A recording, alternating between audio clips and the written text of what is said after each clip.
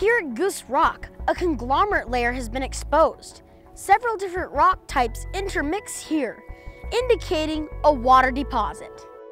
Some of the pebbles and gravel in Goose Rock are thought by secular scientists to have come from the Aldrich Mountains, 40 miles to the south, because the wash rock is the same at both locations. But there may be another source of these rocks, much farther away.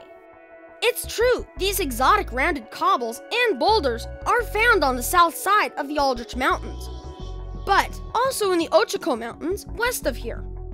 The Aldrich Mountains may not be the source of these rocks, but just a depositing point for a much larger transport of stones. A large concentration of these same type rocks came from the Rockies several hundred miles away. Secular scientists have a very challenging time trying to explain how this could have happened.